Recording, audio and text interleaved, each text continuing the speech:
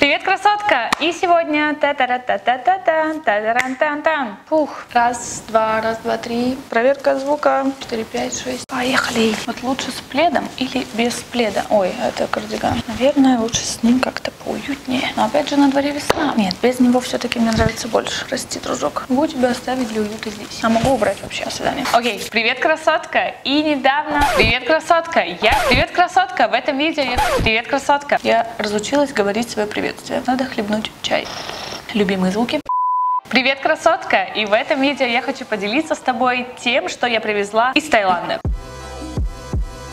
На самом деле тема для видео очень нетипичная для меня, потому что я редко, очень редко и очень давно раньше снимала какие-то распаковки, типа что я купила, там мой заказ. Но в этот раз мне как-то показалась эта тема очень интересной, потому что это вообще другая страна, очень интересные вещи, интересные продукты питания. Да, здесь в основном будет э, что поесть и что на себя намазать. Я попросила вас проголосовать в своем инстаграм, что вам было бы интереснее, просто пост или там видео и GTV в инстаграм выставить или целое видео записать. И больше всего проголосовали именно за отдельное видео на YouTube канал. Я подумала, почему бы нет. Давненько на самом деле на моем канале не было таких вот э, простых каких-то видео, типа распаковочки, болтологичных. Поэтому давайте начнем. Посмотрите, какая здесь весенняя атмосфера. Мне так нравится, что у меня сейчас творится на фоне. На самом деле это просто цветы, но уже так по-весеннему смотрится и так свежо, живенько. Кстати, да, те, кто на меня подписан в Инстаграм, знают, что я была в Таиланде месяц, по моему лицу не скажешь, потому что я не очень-то загорела, но я просто не загорала специально. Поэтому я чуть-чуть покоричневела, но это так, только за счет утреннего и вечернего солнца. И почему я вообще решила снять такое видео? На самом деле, вот куда мы не ездим, откуда мы что не привозим, Таиланд просто бьет все рекорды, потому что оттуда не привезти ничего просто невозможно. И это прям такие уникальные действительно продукты, что мы просто чемоданы отдельные покупаем для них и запихиваем побольше себе домой. Я вместе с вами буду все здесь пробовать, потому что здесь, э, как я уже сказала, немало еды. Давайте начинать. И начну я, наверное, с самой главной находки прошлого года, потому что мы были год назад в Таиланде и откопали вот этот продукт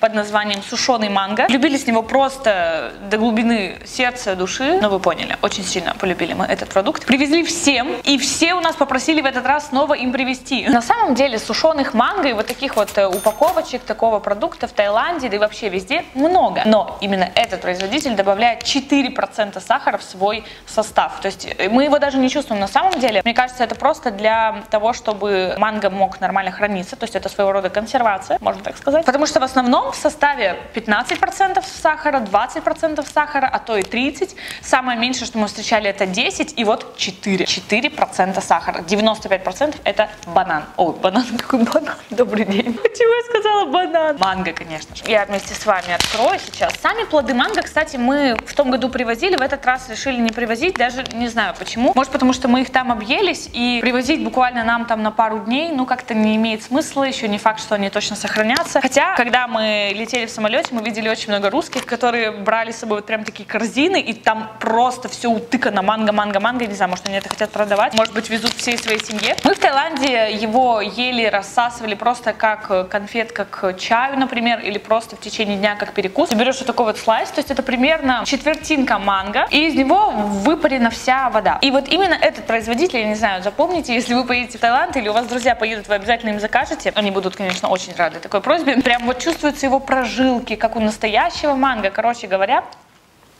М, Тут прямо отборный манго взятого, серьезно. Мы, кстати, для себя поняли, что манго вкуснее всего, когда оно чуть-чуть все-таки с кислинкой, потому что когда оно приторно-сладкое, его невозможно есть. У тебя действительно просто все там рецепторы зашкаливают. Было очень выгодное предложение от этого производителя взять 6 таких и еще получить 6 бесплатно. И в итоге мы вот таких вот больших паков набрали очень много. Не отходя далеко от темы манго, посмотрите, какая красота. Кстати, именно так удобно нарезать манго. Мы очень много раз видели на пляже, когда чаще всего это именно русские делали. Они разрезали манго и пытались из него как-то из кожуры выскребать плод сам, да, то есть вот мякоть. А на самом деле самый простой способ это вот так вот порезать на сеточку, так сказать, и вывернуть манго наизнанку. И тогда он вот так вот красиво перед вами предстанет, и его будет очень удобно есть. В общем, это мыло. И таковых штук в Таиланде очень много. На каждом шагу продается всякое такое фруктовое мыло. И что меня больше всего порадовало, это состав. Это натуральный состав. И первое место в составе занимает манго. Понимаете, вы когда мылите руки этим мылом, у вас прям вот эти вот прожилки попадаются. То есть действительно действительно здесь манго в составе. Еще, конечно, там кокосовое масло, еще какое-то масло. Но очень классно, мне кажется, подарок привезти кому-нибудь из друзей или из родственников. И мы накупили очень много самых разных. Я показала, как по мне, самое красивое. Идем дальше. Немножечко пройдемся по медицине. На самом деле, тайская фармацевтика и тайская косметика, как и азиатская косметика вся, считается очень такой сильной. То есть у них очень натуральные составы, почти все на травах, но очень эффективные средства. Универсальная такая вещь, которая, мне кажется, в каждом доме есть. Не это в каждом доме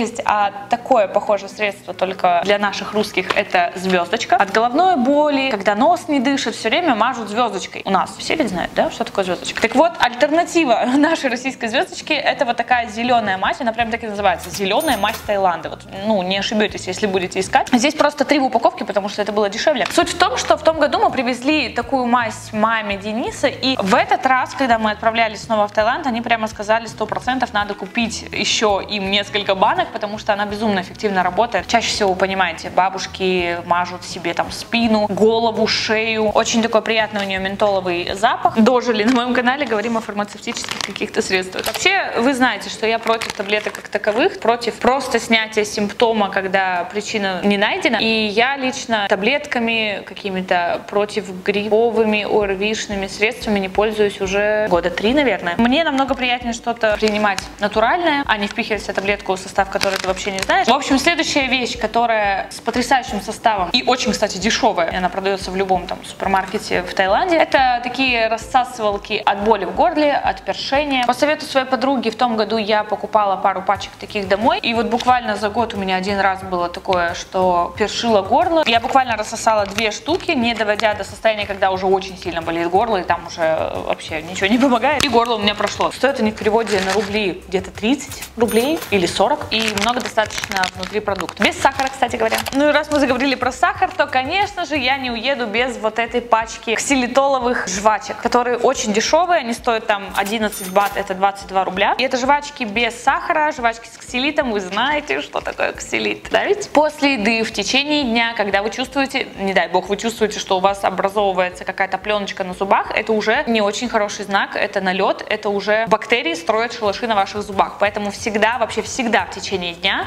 зубы должны быть гладкими. Оксилит в составе жвачки еще и помогает бороться с бактериями. В упаковочке зато 8 штук, а не 10, как мы привыкли у нас в российских или не российских, но привычных нам жвачках. Идем далее, и здесь у нас начинается тема красоты, как я уже говорила. Косметика в Таиланде очень хорошего качества, но знаете что? Она там не дешевая, вообще ничуть. Когда я читала всякие статьи, типа, что привезти с собой из Таиланда, что обязательно нужно купить в Таиланде, но эти статьи были 2015 года. Наверное, в то время там действительно еще все было дешевле. Такие вот маски продаются за 60-70 рублей. В принципе, у нас в России продаются за такую же стоимость э, тканевые маски. Но даже несмотря на это, я привезла целую стопку самых разных тайских масок. Огуречных, томатных, яичных, муциновых, короче, самых разных масок, потому что просто почувствовала, что, ну блин, я в Таиланде. Надо привезти отсюда побольше азиатских масок. Я не буду на себя сейчас наносить маску, я надеюсь, вы поймете, потому что у меня есть макияж, и как бы не хочется его особо портить. Переходим дальше, и это снова еда. Это находка еще прошлого года, это водоросли, очень распространенная тема в Таиланде. В составе просто ламинария, то есть, ну, состав водоросли и максимум могут добавить соль. Вот такая вот упаковочка на молнии, на зипе, и внутри мы видим 8 вот таких слайсов, вот такая вот пластиночка. И посмотрите, какой довольный мальчик на обложке. Он ест ее вот так вот, вот так вот. Я похожа на него? Время полезного контента. Это нереально вкусно. Вот это те самые водоросли, в которые заворачивают роллы. Это очень вкусно. Это можно есть бесконечно. Просто поела. Классная упаковка, что можно закрыть, потому что когда попадает в них влага постоянно, они размокают. Но на самом деле эта пачка долго у нас не задерживается. Мы привезли таких штук 40. Сейчас у меня здесь куча крошек, да, конечно же, будет. Есть на камеру это такое дело. Приятное, но с последствиями. И не отходя далеко от темы, я покажу еще две нереально вкусные штуки. Это уже находка этого года, и на самом деле такие хрустящие водоросли можно встретить не в каждом магазине, то есть вот те водоросли просто повсеместно, везде вообще. Вот эти мы нашли только в одном магазине, и это самое вкусное, что только я, мне кажется, ела за этот месяц в Таиланде. Они на самом деле очень объемные, и сколько мы могли позволить себе взять, мы взяли. Это тоже упаковка на зипе. А, какой запах. Во-первых, здесь не просто водоросли, здесь такой бутерброд зеленой пачке, белый кунжут черный и какой-то орех.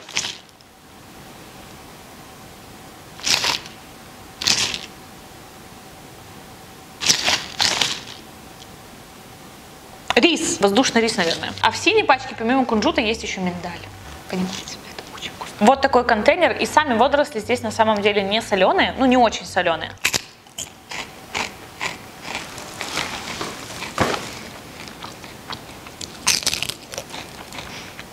Все. Можно заканчивать. У нас в Таиланде было на самом деле всего два основных приема пищи. Это завтрак и обед и ужин, можно сказать. И между завтраком и обедом и ужином мы перекусывали что-нибудь. Либо фрукты, либо греческий йогурт, либо вот такую штуку, 5 пачек в день. Давайте о чем-нибудь несъедобном теперь переключимся на уход снова. И это вещь, которую тоже привезти из Таиланда невозможно. Не привезти невозможно. Это кокосовое масло. В том году я привезла с собой банки 3. На самом деле не экономила, и у меня еще банка осталась. То есть расход, в принципе, у кокосового масла не очень-то большой. Есть два варианта кокосового масла. Это тот, который мы употребляем в пищу, и на котором лично я уже давно жарю все вместо подсолнечного. Оно и в разы полезнее, и добавляет такой интересный вкус. Но к нему надо привыкнуть. Сначала может показаться странно, что яичница, например, имеет сладковатый вкус. Но в этот раз я нашла другую баночку, очень, как по мне, удобную. Это баночка спрей. То есть не нужно масло выскребать, пытаться к нему проникнуть вилкой, палочкой, чем-то еще, выдавливать его не нужно. Потому что у масла кокосового есть такая интересная особенность. При температуре, например, сейчас здесь может быть 21-22 градуса, я снимаю на студии, оно уже твердое. То есть оно приобретает белый цвет, и оно твердое, оно не жидкое. И если его подержать, например, под горячей водой, то оно расплавится. Очень удобно такое масло спрей наносить на кожу после душа. И чтобы сэкономить время, пока я нахожусь в душе, пока на меня льется горячая, ну достаточно горячая вода, все равно температура воздуха повышается, и масло как раз немножечко разогревается. Становится жидким, и его удобно в виде спрея вот так нанести на кожу. Точно так же во время готовки. Просто пшик-пшик на сковородку и готовишь себе на здоровье. Точно такое же кокосовое масло, только вот в таком прессованном миниатюрном варианте. Это для губ. Носишь с собой такую маленькую штучку, очень быстро открыл, и губы у тебя увлажнены. Единственное, что мне не нравится, здесь э, что-то в составе еще есть, какой-то то ли ароматизатор, то ли что-то еще. Оставили бы просто кокосовое масло, было бы замечательно. Потому что пахнет прямо чем-то ненатуральным. А, я посмотрела состав. Тут есть только кунжутное масло и витамин Е.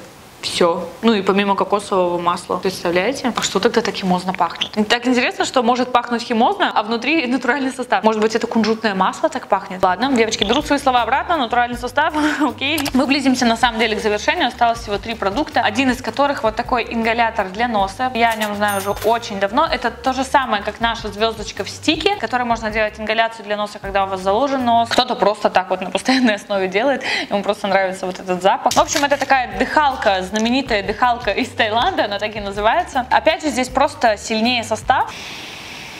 А, ментол, масло перечной мяты и эвкалиптовое масло. Ну, вы понимаете, какой это просто умопомрачительный запах. Просто через нос вдыхаешь, через нос выдыхаешь или через рот выдыхаешь, как хочешь. Но единственное отличие, единственное и очень такое сильное отличие от нашей звездочки, его нельзя вдыхать очень резко. То есть звездочка у нас, видимо, не очень такая ядерная, что ли. Когда я брала наш отечественный ингалятор звездочка, я могла прямо зажимать одну ноздрю, а второй ноздрю резко вдыхать. Мне прям это так нравилось, то есть меня пробивало очень сильно и эффективно это было очень. Продирало, но не так, что там, не знаю, огонь из носа пылает. И год назад, когда я была беременна, и у меня начался насморк, то ли я начала заболевать, беременным вообще ничего нельзя там капать особо сосудосужающего, потому что это сразу влияет на матку, на сосуды на матке, на малыша. И, короче говоря, единственное, что советуют беременным, это не болеть, первое. Второе, промывать солевыми всякими растворами максимум и дышать вот такими ингаляторами. И я взяла вот этот ингалятор, не зная того, насколько он ядерный. И так же, как со звездочкой, сделала вот так. Это было, я вот как сейчас помню, на ночь. Мы просто с Денисом лежим, разговариваем. Я делаю эту ингаляцию и такая резко вдохнула. И такая, ого, как сильно-то. Начала дышать дышу и понимаю, что у меня просто, я обожгла себе слизистую, я просто обожгла себе все, мне кажется. То есть у меня сразу же пошли слезы, пошли сопли, я начала все это отхаркивать, у меня вместе со слюнями, по-моему, выходил огонь просто. Я реально кашляла, наверное, просто час, я уже начала даже переживать, все ли с малышом нормально. Это был такой ядерный взрыв в моей голове, что я запомнила раз и навсегда, что ни в коем случае вот такую штуку вдыхать в себя резко нельзя. Следующая вещь, это тоже от открытия этой поездки. Это кокосовое молоко, вот именно такой фирмы, девочки, запомните. Я пробовала кокосовое молоко, разумеется, у нас в России. Я пила на кокосовом молоке кофе. Просто пыталась кокосовое молоко полюбить, есть с ним гранолу или что-то еще. Нет, это не сравнится. Я не знаю, что это такое, но это состав э, стопроцентное кокосовое молоко. Но это вот то самое жирное молочко кокоса, белой мякоти кокоса, ну просто невероятно вкусное. Это просто какой-то десерт. Вообще случайный случай, что я наткнулась на такую бутылочку, потому что я пошла в местный магазин просто за маслом, за кокосовым маслом, чтобы на нем жарить что-нибудь. В разделе с растительным маслом, каким-то оливковым маслом была вот эта бутылочка и нарисован кокос. Все по-тайски написано. Сзади я не прочитала, что написано как она milk. Я думала просто, что это кокосовое масло. Еще вот так вот делаю, оно такое, знаете, густоватое. Ну, то есть э, не просто как молоко, не как вода, а такое вот что-то жирноватое, густоватое. Мама открывает, значит, выливает немножечко на столовую ложку, понимает, что что-то белое. Думает, ладно, может это масло, оно растопилось и стало не прозрачным, а белым. Решила попробовать, позвала меня и сказала, Саша, попробуй это. Я попробовала, и это просто взрыв мозга. Это настолько вкусно. Мы стали, в общем, добавлять его в гречневую кашу. И можно добавлять его, разумеется, в любую кашу. Там, геркулесовую кашу, в кукурузную кашу, пшеничную кашу. Самое, что классное, я всегда, все детство, всю жизнь свою любила гречку с молоком, да и вообще все каши на молоке. Но, например, ту же самую гречку не рекомендуют есть с молоком, потому что железо, содержащее в гречке, не усвоится из-за кальция, содержащего в молоке, коровьем молоке. Но мне всегда нравился именно этот молочный вкус с кашей. И получается, можно сейчас добавлять кокосовое молоко. Это невероятно вкусно. Мы взяли таких бутылок 6, наверное, и я обязательно буду искать, где можно их заказывать. Ну и последний продукт, но не по значению, привезенный из Таиланда, это такие дезодоранты продукты, которые называются в народе просто кристалл, но по-научному они называются алюминиевые квасцы. Не буду вдаваться в подробности вреда дезодорантов, вы все можете прекрасно почитать в интернете и сами лично убедиться, но это такая здоровая органическая альтернатива дезодоранту. Это действительно выглядит как кристалл, он такой полупрозрачный. Это минералы, и они залегают в горно-вулканических породах по всему миру. Алюминиевые квасцы достаточно серьезный антисептик и антибактериальное средство. Вы продолжаете потеть, но не так интенсивно. Какие мы обсуждаем темы на моем канале. И ваш пот под действием квасцов перестает пахнуть. Ведь пахнет не столько сам пот, сколько продукты жизнедеятельности бактерий, которые в нем размножаются, кстати, да. Мне когда Денис об этом факте рассказал, я такая, что... То есть сам по себе пот, он вообще без запаха. А именно уже бактерии, которые начинают там что-то делать в поту, вот они уже и пахнут. Но в отличие от обычного дезодоранта, который, конечно, удобнее в применении, вы просто сразу же им что-то там наносите и идете гулять, его нужно перед этим намочить. Просто просто в воде намочить и наносить. Потому что так по себе он просто сухой, то есть из него ничего там не выделяется, никакая жидкость, ничего. Он работает именно при контакте с водой. И еще огромный его плюс то, что он никогда не кончается. То есть вы можете видеть, что просто его хватит на всю жизнь, мне кажется. Их прямо все заказывают постоянно из Таиланда. Но чаще всего уже э, такое взрослое поколение, там мамы наши или бабушки. Девочки, я же вам сказала, что уже все, но нет, у меня на пол упала пачка с кокосовыми чипсами. Вы запомнили, как много всего кокосового можно привезти из Таиланда? Ну, это действительно так. А что там постоянно